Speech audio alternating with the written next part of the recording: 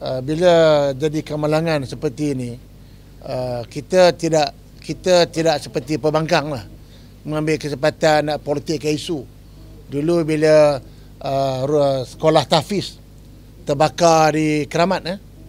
sekolah tahfiz terbakar Keramat di Kip Siang eh?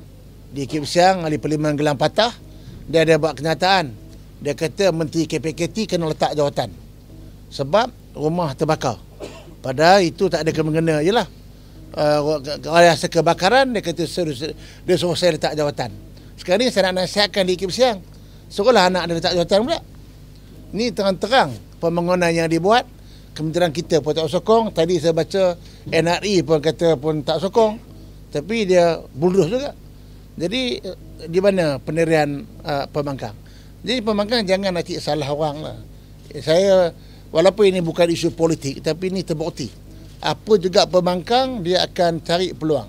Saya cakap kenyataan. Saya bila Kik Siang membuat kenyataan tersebut saya baca saya pun terfikir tu apa dia Kip Siang buat kenyataan suruh saya letak jawatan? Kan? Ha, tapi sekarang ni Tuhan Maha Kaya. Ha, terjadi pula kepada negeri anak dia. So suruhlah anak dia letak jawatan. Ha, nak tengok apa komen Kip Siang. Saya nak cabar Kip Siang buat kenyataan macam mana dia suruh buat kenyataan suruh saya letak jawatan akibat daripada kebakaran Tafiz now buatlah kenyataan. Suruhlah anak dia letak jawatan